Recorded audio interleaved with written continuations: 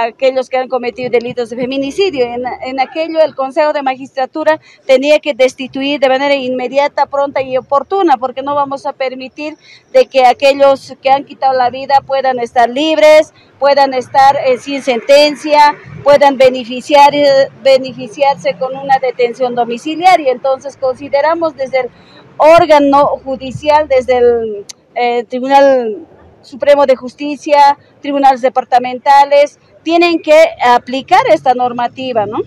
Todavía no nos han pasado la invitación, nosotros estamos para aportar y estamos para eh, coadyuvar los ajustes normativos, vacíos jurídicos, generar más políticas públicas de prevención, sanción y atención. Y yo creo que en ese contexto, yo creo que todos debemos trabajar, los medios de comunicación también, desde ambos órganos y la sociedad civil. ¿no? Yo creo que es importante porque...